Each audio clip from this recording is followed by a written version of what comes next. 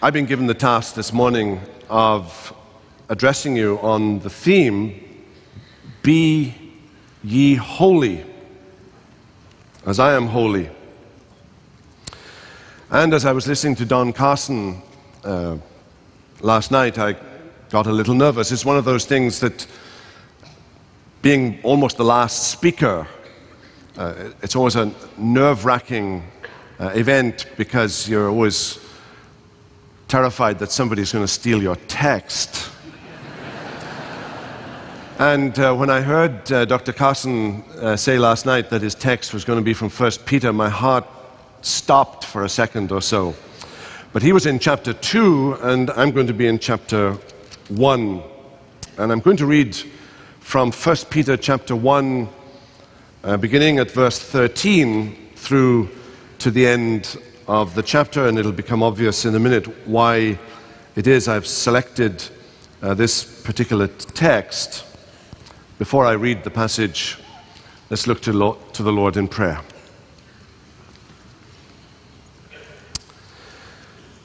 Lord our God, we thank you for the scriptures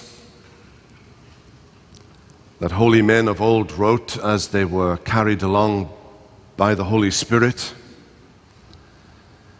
That all scripture is given by the outbreathing of God and is profitable for doctrine and reproof and correction and instruction in the way of righteousness.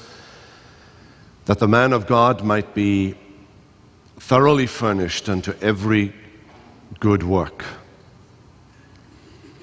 Come, Holy Spirit,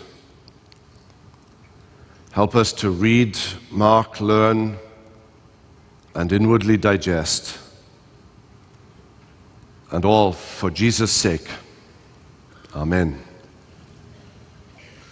Now, this is God's holy, inerrant word.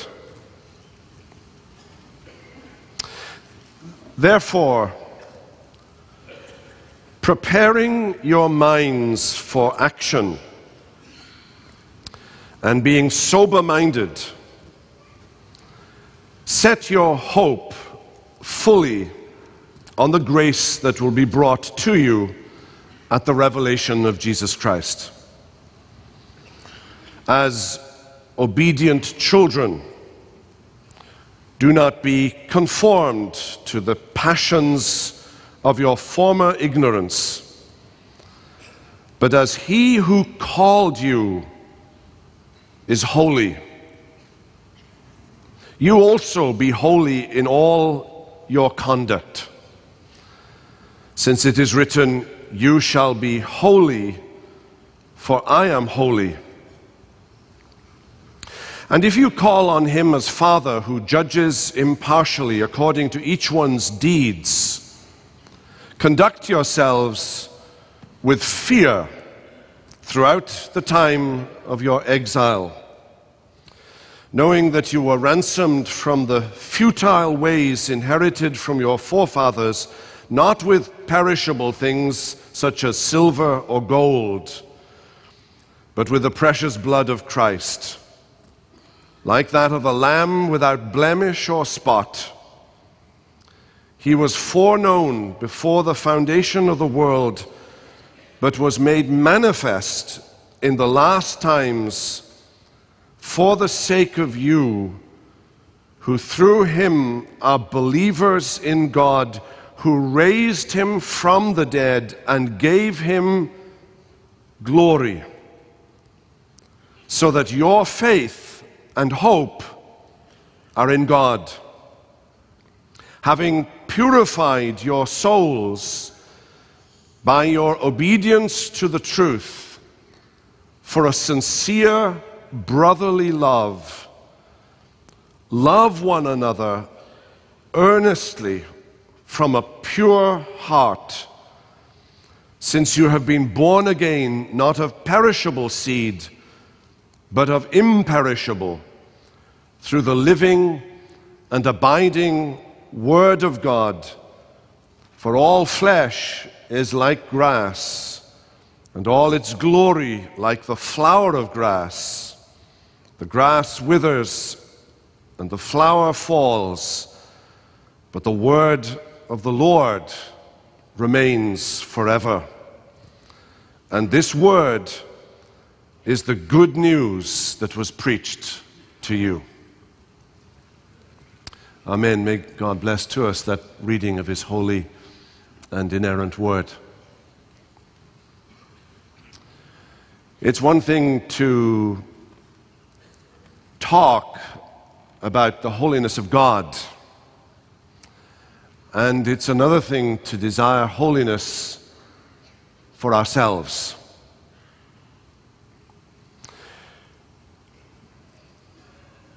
Holiness is an essential aspect of the Christian life. Think of Luther's great stress on a faith that produces works, or think of Calvin in his Institutes, the third use of the law, the tertius usus legis, as a guide for sanctification, or think of the Westminster Confession of Faith, that we are justified by faith alone, but that faith that justifies is not alone, it is always accompanied by works. But we live in such a man centered age. We live in such a man centered church. We live for self fulfillment rather than pleasing God. We like books on how to be a good father, or how to be a successful lover, or how to improve your diet, rather than books that explain to us how we should be holy and how we should be Christ like.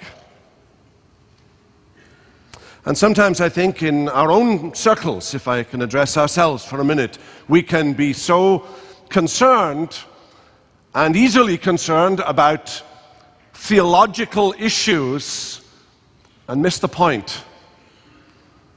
And miss the point that the point of all theology is to drive us into a Christ likeness, into a holiness of life. It's been cited already in the last few days, Robert Murray M'Cheyne's great statement.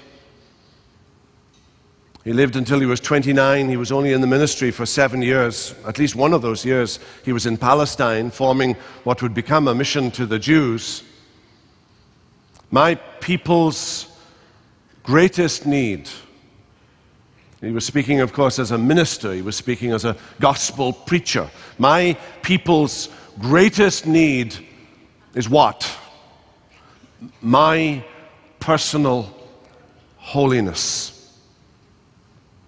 It's a serious business.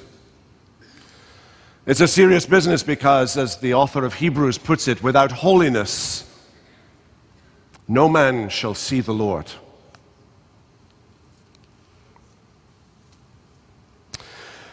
Look at our text with me, and you see there in verse 13 the word therefore.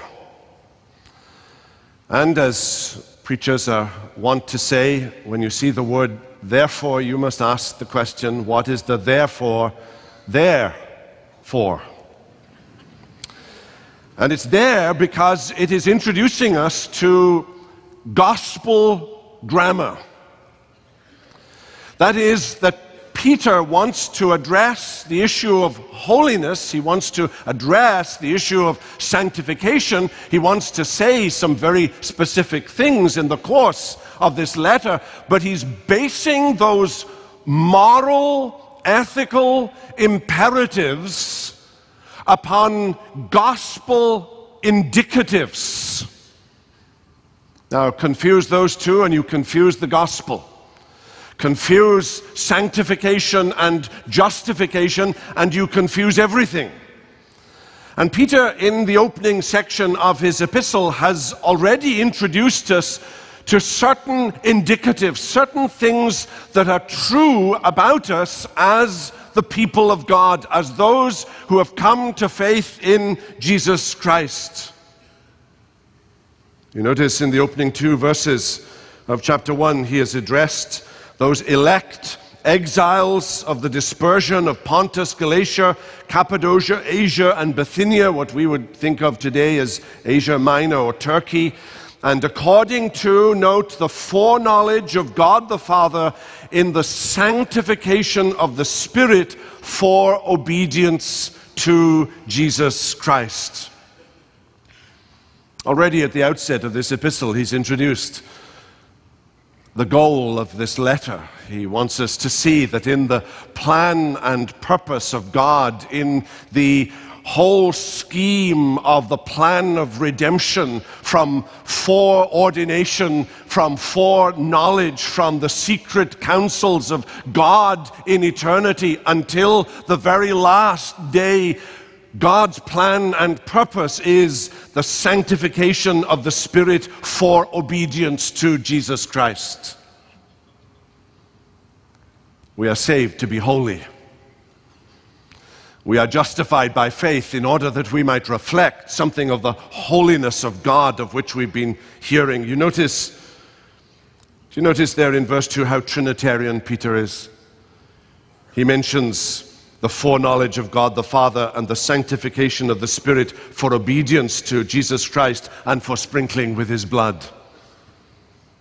It's as though the Father is looking down the corridors of, of history and has already set his love on this one and that one, and he turns to the Holy Spirit and says, In my love, I want this one to become mine. And the Holy Spirit taps on this person's shoulders and says, The Father wants you. And the Spirit takes that person to Jesus Christ and says to the Son, This one wants you to become his prophet and his priest and his king. And Jesus says to this person, Come and meet my Father because it was his plan all along.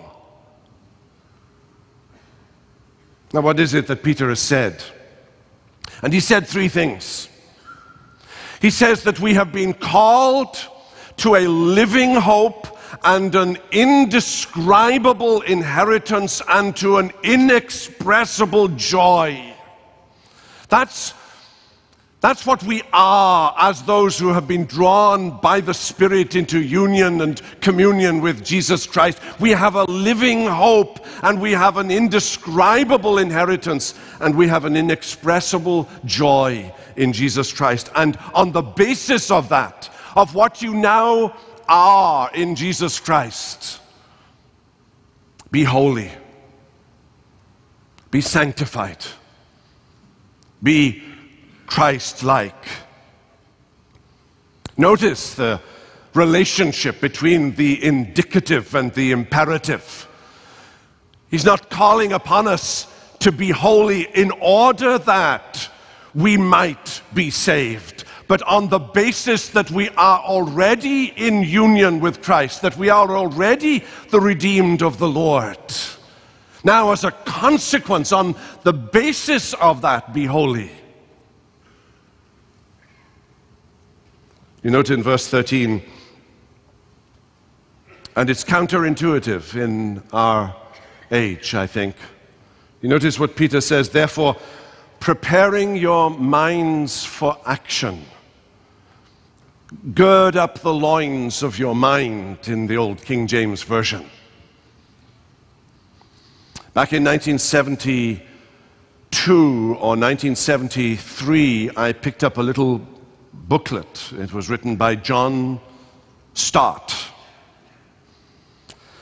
And the opening sentence of that book read something like this The major secret of holy living lies in the what? It's a little quiz, it's a little test. The major secret of holy living lies in the mind.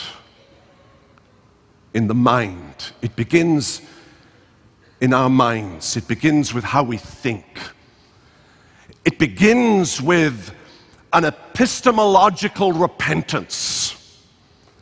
It begins with changing our minds about certain things and having our minds addressed by the Word of God. Gird up the loins of your mind. Begin to think in Christian ways, in biblical ways. Not long after that, in 1974, I think it was, I was introduced to John Owen.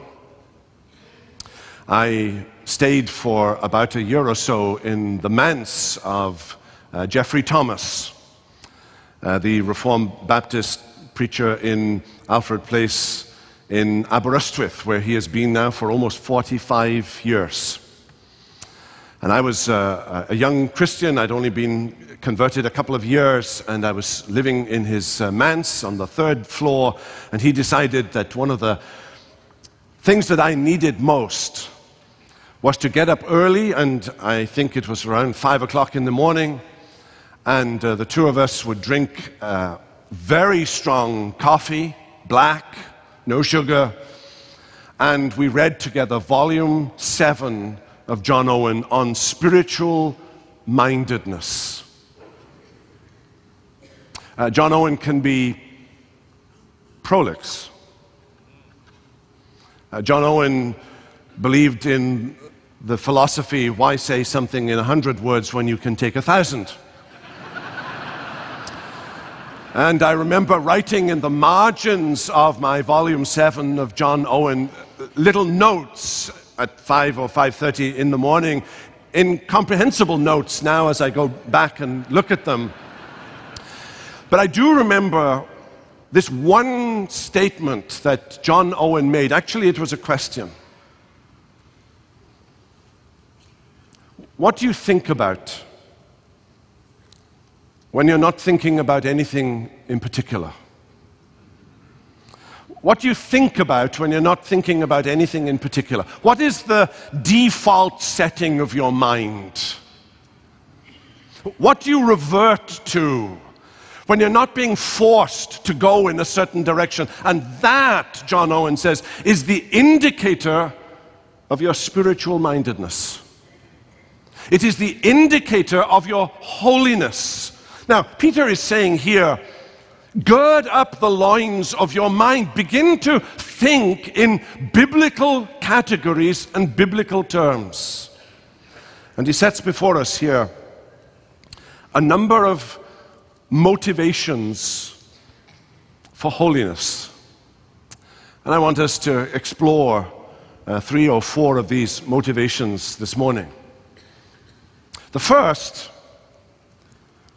is the holiness of God. The holiness of God. You note, of course, there in verses 15 and 16, he cites the text that comes from the book of Leviticus, several places in the book of Leviticus, the so called holiness code. You shall be holy, for I am holy. Giving to us a motivation for holiness and perhaps also a standard for holiness. That because God is holy, because the Father is holy, because the Son is holy, because the Holy Spirit is holy, He wants His people to be holy. Because we have been drawn into a relationship with this God. He is our creator who made us in order that we might reflect His holiness, who recreated us, regenerated us, who has quickened us through the instrumentality of the Word and through the gospel and has brought us to the feet of Jesus Christ, and we've embraced Him by faith and called Him prophet, priest, and king.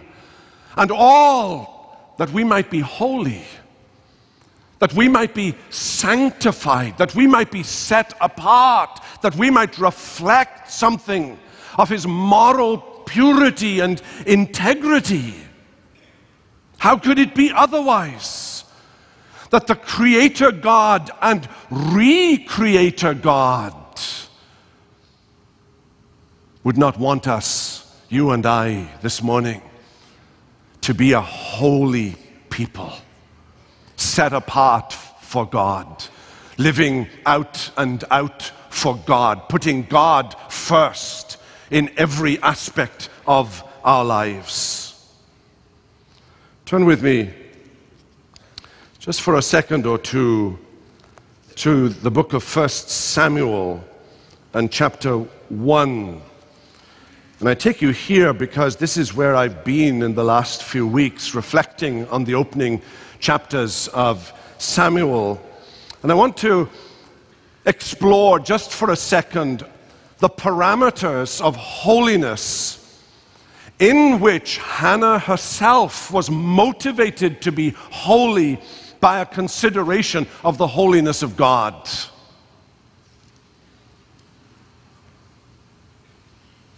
You're introduced to this little family Elkanah and Hannah, whom Elkanah loved. But there's another woman. There's Peninnah. Elkanah has two wives, and alarm bells are going off in your mind. There are problems here. There are significant problems here. And as you read the chapter, you remember that Hannah has no children and seemingly can't have children.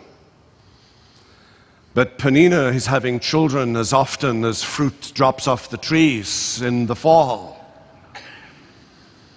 And she knows it. And on visits to the temple in Bethel, Peninnah, snooty little thing that she appears to be, rubs it in. You can imagine a conversation in the house of Peninnah with her children, and her children are saying, Why does Auntie Hannah not have children? And Peninnah says, Well, I don't know, but why don't you go and ask her? But I think God has cursed her. And you remember when she gets to the temple, on the journey there, she, she's, she's off her food, she's, she's crying, she's, she's, she's weeping. She, she's a woman in, in spiritual torment and trial. And Hannah hears her husband, Elkanah, who has read how to be a good husband, saying to her, why are you crying? Why are you off your food? Am I not worth more to you than ten sons? What an oath.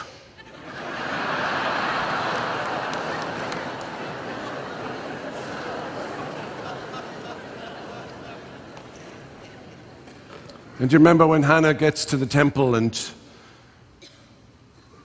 Eli the priest She's praying, you remember? And words are coming out, but they're not, there's no sound. She's, she's vocalizing, but her mouth is moving, but there's no sound. And Eli, who's been reading the same journal about male sensitivity as Elkanah, says,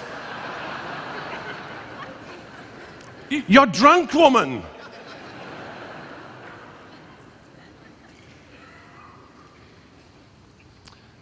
Hannah does one of the most incredible things in 1 Samuel chapter 1.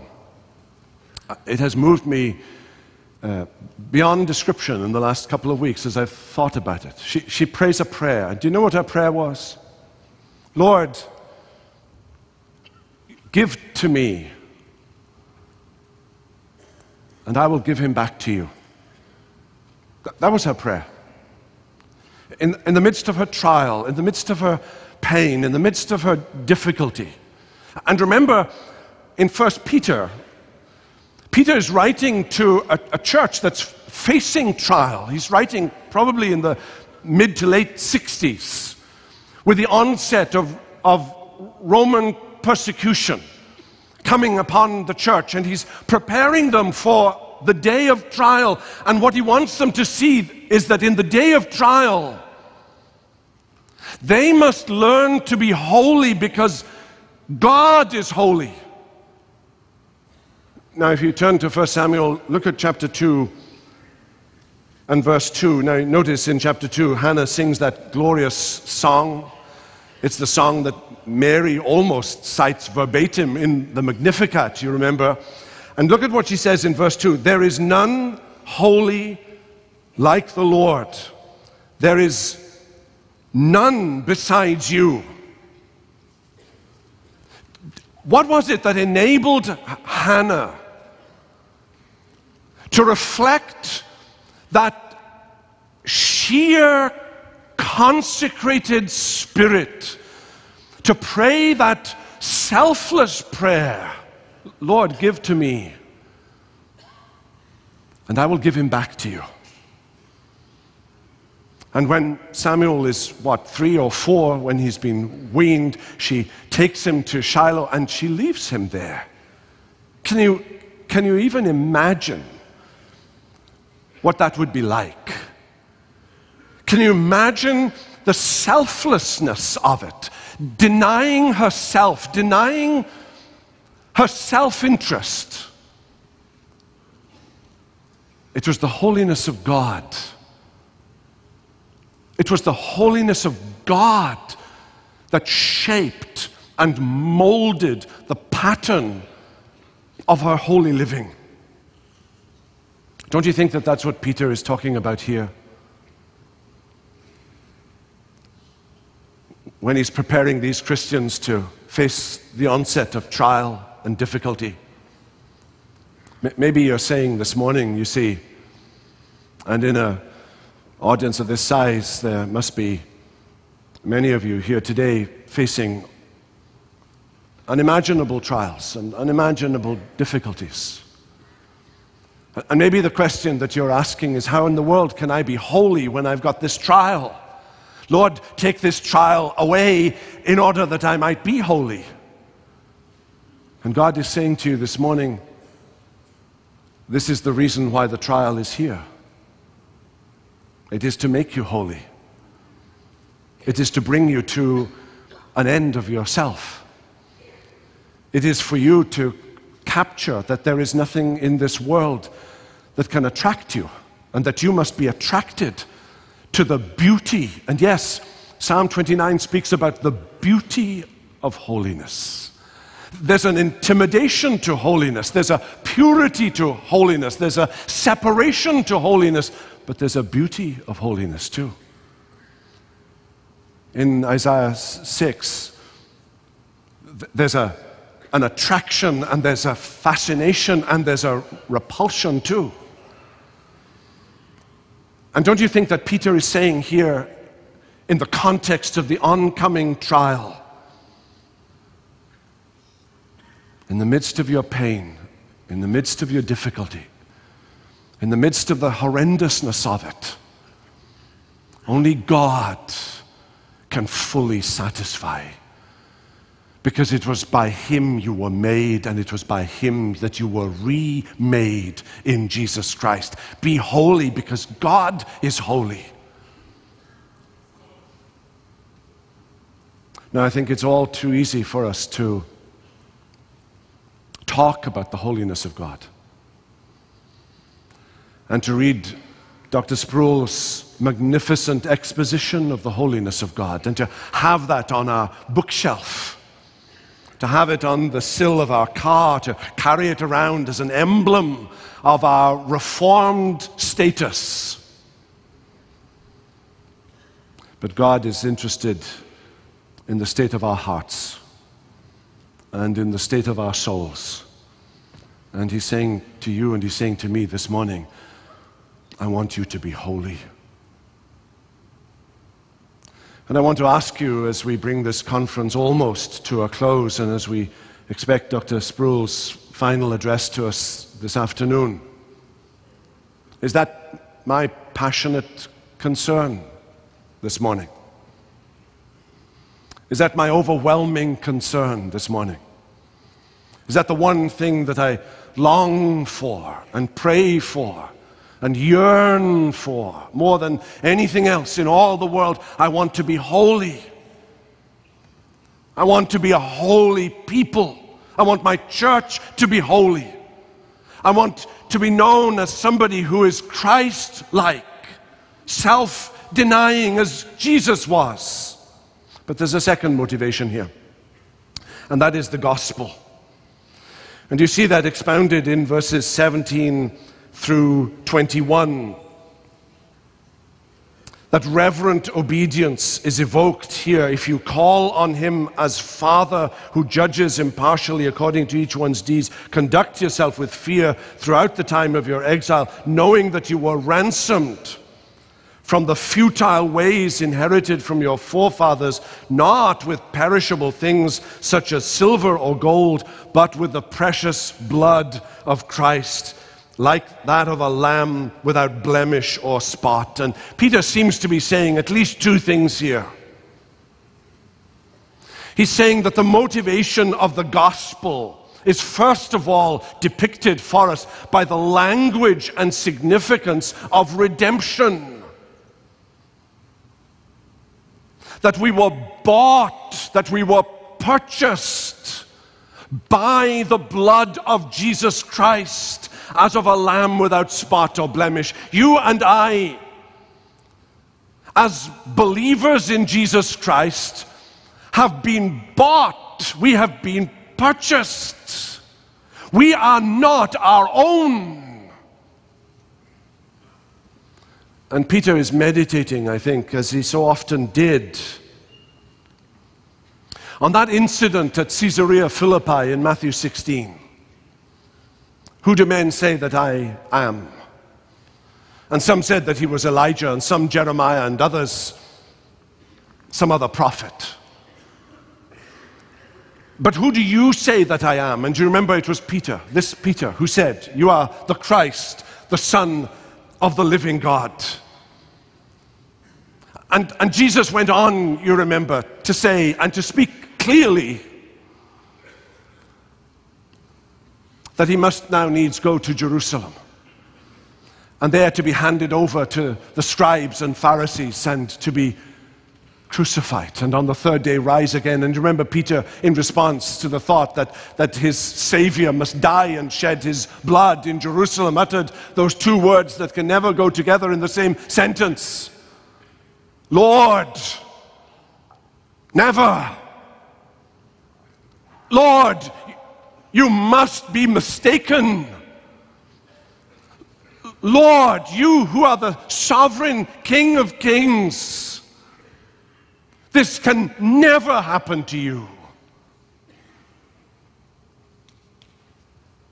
And I think Peter must have reflected on that passage, not least because of the words that Jesus went on to say that you are Peter, and on this rock I will build my church, and the gates of hell will not prevail against it. You know, it's often said, isn't it, that all of Western civilization is just a series of footnotes on Plato and Aristotle. And in a sense, all of the New Testament is just a series of footnotes on those words of Jesus at Caesarea Philippi. And I think what dawned on Peter that day, and I think it dawned on him for many a day thereafter, was that the blood of Jesus had actually purchased him and bought him so that he was no longer his own. And that the blood of Jesus had redeemed him from the futile ways, the empty way of life, from the vanity of this world.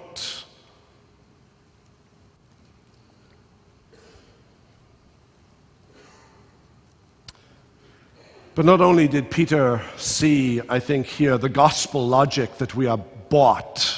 And you know, when you are bought, when you purchase something, when you own something, you have the right to use that in a way that pleases you. It's called the right of private ownership, which we almost still have. it's a precious, precious truth. And I think Peter is reflecting here on the fact that my holiness is motivated by the fact that I am not my own. I belong to another. I belong to my Savior Jesus Christ. I have been purchased by Him. He has shed His blood for me. He's paid the ransom price to set me free. But you notice he goes on in verses 20 and 21 to reflect on the revelation of the gospel because he was foreknown from before the foundation of the world, but was made manifest in these last times for the sake of you, who through him are believers in God, who raised him from the dead and gave him glory, so that your faith and hope are in God. This is, this is what the gospel is all about, Peter is saying. You see what he's saying? That if we are to be holy, that holiness of ours is fundamentally related to all that God has done in the purposes of redemption, in sending the Lord Jesus Christ into the world to become incarnate, to die on the cross, to rise again for our justification.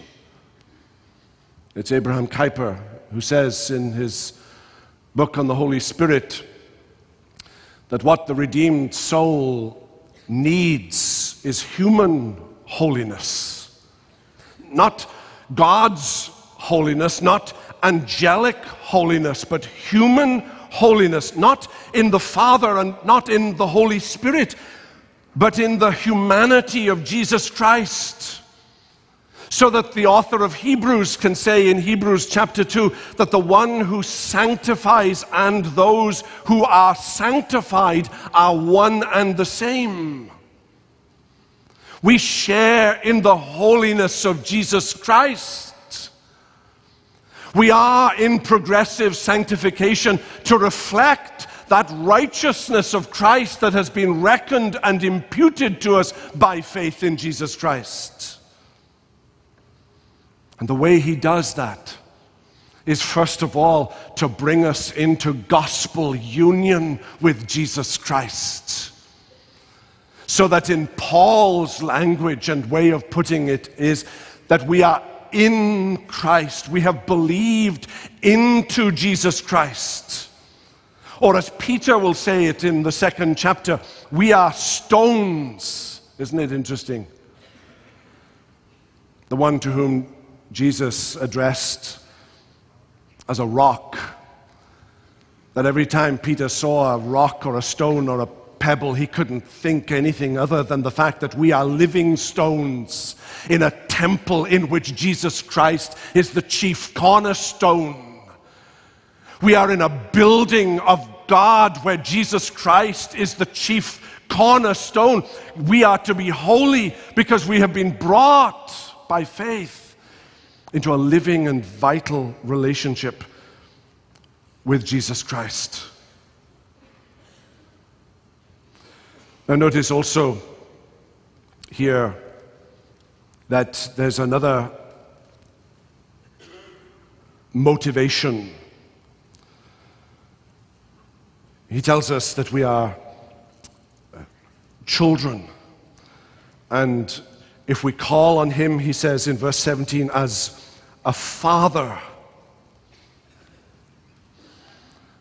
What a, what a privilege that is. We, we, have, we have been brought into a relationship in which, in which we can call God, this holy God, this, this righteous God, we can call him Abba, Father.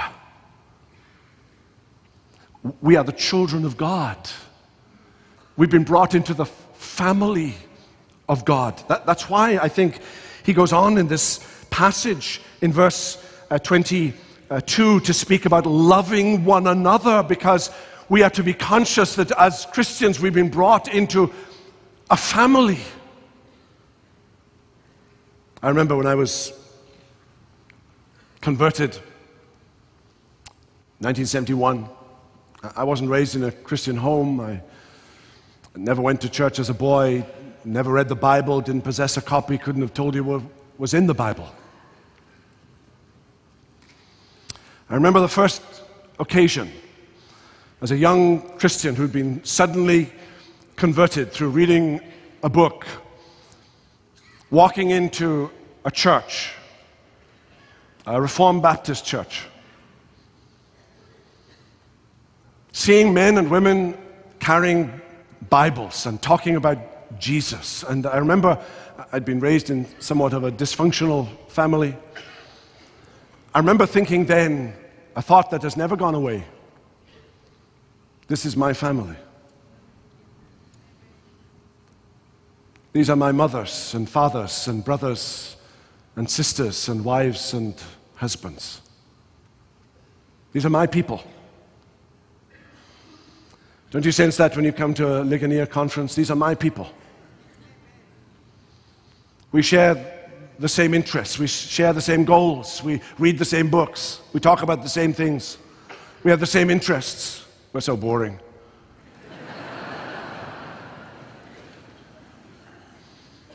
and Peter is addressing holiness within the context of family life. Remember that you're in the family of God now. When I was in high school, oh, I don't know, I was 12 or 13. My older brother was 17. And you know, when you're in your teens, four years can be like 50 years. You know, when you're 12 and your older brother is 17, he might as well have been 48. and I, I did something in high school. You know, it was something that, that high school kids do. It, and it's not important what it was, and it's none of your business. but I got into trouble. I got into trouble with the headmaster. I was punished by the headmaster. I was caned by the headmaster when it was legal to do so. But that was nothing. It was lunchtime when my 17 year old older brother caught me in the corridor of the high school, pulled me aside, took me out, literally behind the woodshed, a shed that held sports equipment. And behind the woodshed, he, he uttered these words. They've never gone away from me. You've let the family down. It was like some Sicilian mafia boss. this was Wales, you understand. But I'd let the family down. This is Peter's motivation here. Love one another from a pure heart, with sincerity, with affection. Because we are members of the family of God. And when you sin, when you fall short of God's glory, you let the family down. You let your father down. It's a test, isn't it, of our love for our Heavenly Father. Is holiness my overwhelming desire and aspiration? Now, there are other motivations here, not least in verse 17, the idea of the judgment of God, and I don't have time to expand on that. Just to say this whatever happened to the judgment of God in evangelical churches? Whatever happened to the notion that for the redeemed of the Lord there will be a judgment according to works. That we must give an account of all the deeds that we've done in the body. That there are rewards in the new heavens and in the new earth. Somewhere in the evangelical church in the last 20 or 30 years, the idea of egalitarianism has crept into our concept of the new heavens and the new earth. But, my friends, that's not what the New Testament seems to me to be teaching here. One of the motivations for holiness is that we must give an account, that there's a day of reckoning coming. Peter's concern for holiness here is in the midst of fiery trials. I can't close this morning without at least addressing that particular issue. Is that where you are t- this morning? Passing through a particular trial, a horrendous difficulty in your marriage, in work, with your children, with yourself.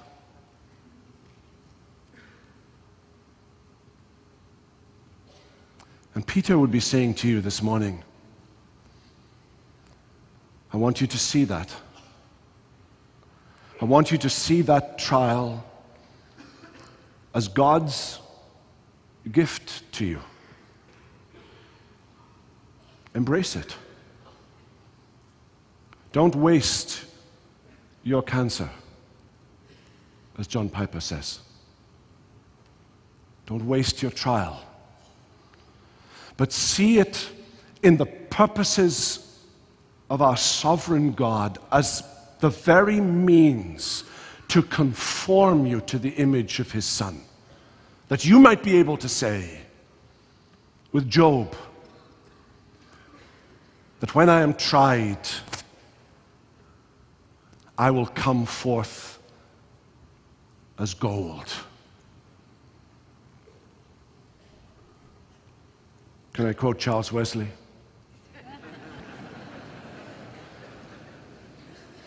From love divine, all loves excelling. Finish then thy new creation, pure and spotless, let us be. Let us see thy great salvation perfectly restored in thee, changed from glory unto glory, till in heaven we take our place, till we cast our crowns before thee, lost in wonder, love, and praise. Be holy, you shall be holy. For I am holy, God says. Let's pray together. Father, we thank you now for your word. But we are humbled, though insufficiently, by the thought that we are still, even as the redeemed of the Lord, an unholy people. The good that we would, we do not, and the evil that we would not, that we find that we do. O wretched man that I am, who shall deliver me from the body of this death? But we thank you for the grace of our Lord Jesus Christ, who, having begun a good work, will complete it unto the day of Christ. So grant us that holiness without which no man shall see the Lord, and we ask it in Jesus' name. Amen.